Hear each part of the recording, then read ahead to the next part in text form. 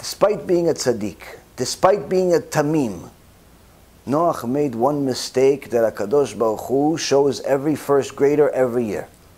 What? After the whole Mabul is over, what does Noach want? Peace of mind. Leave me alone. I survived a year with all these animals, a year with all these beasts, a year with all the barking, a year with all the peeping, a year with all the this, cleaning up after everybody. A year, oh, what? Let me have a drink. Let me have a little drink. Hey, plant, let me get some, a little bit of wine. What's the problem? Kiddush, no? Kadosh Baruch Hu says to Noach, mistake.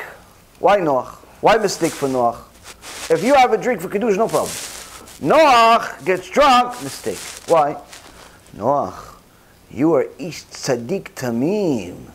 You were always complete with Hashem, never asking any questions, never complaining, never having anxiety, never thinking, oh, I need a break, I need a vacation.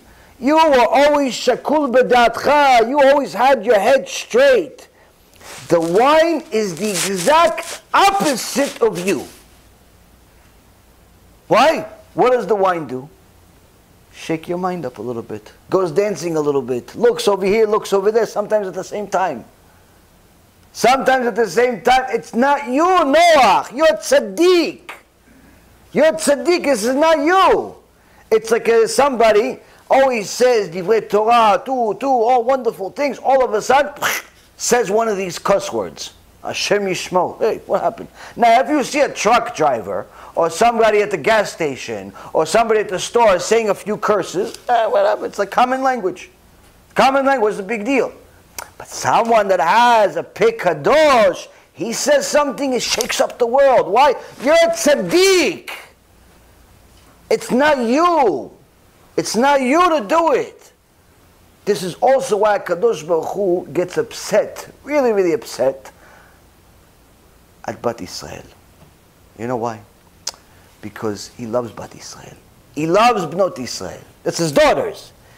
And he says, My dear daughter, look at your grandmother Sarah Imenu. Sarah Imenu was so beautiful, so beautiful, her skin was shining to such an extent that the most beautiful, Gemara says this, most beautiful woman in the world that you could ever imagine looks like a monkey with hair on its face. Next to Sarah Imenu. Next to Sarah Imenu. And Abraham did not even know how beautiful she was. He didn't even know how beautiful she was. Until one time he saw her shin. One time. They're married already for 100 years. But he just says, oh, wow, you're beautiful. Thank you. Baruch haba. Thank you for noticing 100 years later. If I was I'd say, Abraham, what's the matter with you? You're missing out. What are you going to marry me if you're not even going to look at me? Sarah was so beautiful, even Abraham, Abraham didn't see. How come? modest. She covers herself. She co- why? Because that's what a Bat Israel does. That's your grandmother. So Hakadosh Baruch Hu says, how can you be the opposite of your grandmother? How can you be? I have a pasuk in this week's parasha. ולא יראה בך ערוות עבר ושב מאחריך. You, Bat Israel, you read Tehillim every day. You go to shul on Shabbat. You hear what the rabbi's drash is you uh, get the, the girls together to do chalot, everything great, right? You want to be tzadikah, but what do you do? You have a week longer than the exile. Your sleeves just went on vacation. Your dress is not even a dress. In a previous generation, it was considered underwear. Why? You want to be cute. Like the goyim. HaKadosh Baruch Hu says, not you. It's not you, my daughter. Look, all you do, you do afrashat challah, and you do kiddush, and you do the nerot, the candles, you tzadikah. But you forgot this pasuk.